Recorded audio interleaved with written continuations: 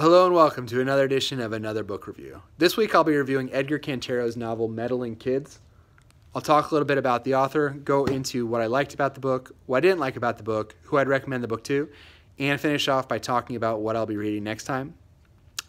Edgar Cantero is a Spanish horror novelist. This is his second novel. Uh, both of this and his previous novel have been really well received. I have only read this novel, Meddling Kids. I have not yet read his previous novel, though it looks interesting. Uh, this book, Meddling Kids, is about a group of friends who were in their youth uh, child detectives.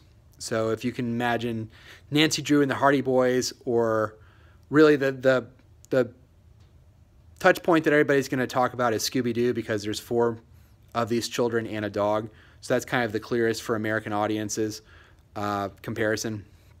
So the novel is basically about when they were children. They were this. They were a group of children detectives. They would solve kind of similar crimes to in the vein of Scooby Doo. Uh, their last and final case, they believe they have solved it, and then the novel kind of jumps 13 years into the future, and you see these characters now as young adults, and they're all kind of uh, broken is maybe too strong of a word, but they all have real struggles and problems in, in their personal and professional lives, and they realize uh, through some machinations that the case wasn't quite solved. The last case they went on was not quite solved, so they now have to go back and resolve, quote unquote, the case. So um, that's just a really brief, broad overview of the book. Um, tonally, the book is kind of somewhere between Scooby Doo and It, which is another for me another touch point because it's the book is kind of split into two different. Uh, the idea of children of children solving a mystery and then getting together years later to go back and resolve that first mystery. Very very similar to to It, even though this book is probably not as. Uh, it's not quite as serious as that. I think there, while this is a horror novel, there's definitely elements of humor kind of thrown in. It doesn't take itself that seriously. Uh, you realize that there are definitely characters who are in peril, but it doesn't get to the point where uh, you're concerned about violent deaths and things of that nature. So that was kind of one of the things that I liked about the book is it doesn't take itself way too seriously. Uh, there are some really fun action sequences throughout the novel. Uh, there is a romantic subplot throughout the novel that I think is actually handled relatively realistically, and I think that that uh, was well written. Some of the things that I didn't care for as much, the plot is kind of unnecessarily convoluted. Um, there are, at the end specifically, the last, the book kind of ends on a note, a kind of a strange note. Um, kind of goes back and explains something that didn't necessarily need to be explained.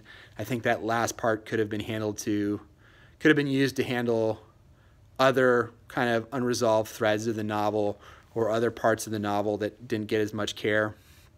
Uh, there's some strange word choices, which I, after I read this, I, I went back and realized and did some research and realized that Edgar Cantero is a Spanish writer. So there may be translational issues. It's not really anything that's going to distract you from enjoying the novel, but there were some strange word choices I found in, in the book.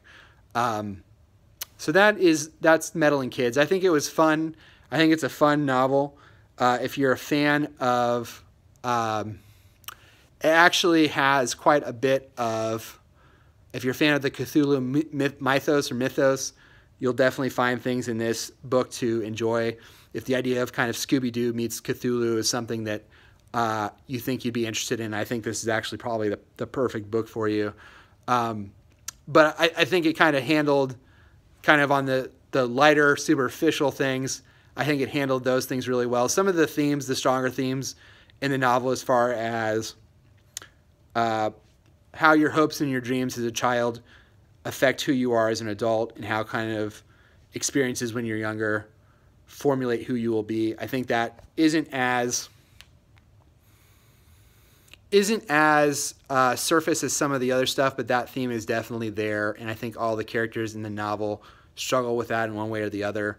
Um, the book resolves. I don't want to give too many spoilers, but I think the book does a good job of uh, taking that seriously and not kind of dismissing that, which is like a real thing that people go through. So I think that's handled well. Uh, like I said, I think this is overall kind of a fun novel. I don't think it's anything that necessarily is going to be life changing. I read this, and I think in two or three days, so it's a relatively quick read. It's a fun read. There are things that are sprinkled throughout it, the bits of humor that I liked a lot. Um, like I said before, I think that there are the plot itself is a little convoluted and kind of doesn't. Uh, sometimes I feel like it's zigging and zagging for its own sake rather than for the sake of the story.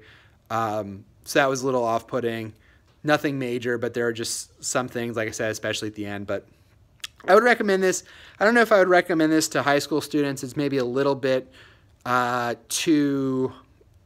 There definitely is blood and gore in the novel, and there's definitely language in the novel. So again, this is probably one of those books where I would, if anybody came to you and, and would, was, wanted you to recommend the book for that age level, you may want to read it. It's a relatively quick read. Uh, there's going to be, uh, like I said, there is a romantic relationship in the novel, and it is. Um, not exactly it's not graphic it's not explicit with that but that may be something that you would want to read to see if it's appropriate for the person or people who have asked to read the book. So that's my take on meddling kids. Uh, next time i'm going to be reading Jean Thompson's short story collection the witch. And until next time please feel free to like the video subscribe to the channel. Uh, i'll have my twitter link below in the notes in the comments. Uh, please feel free to follow me on twitter. Until next time bye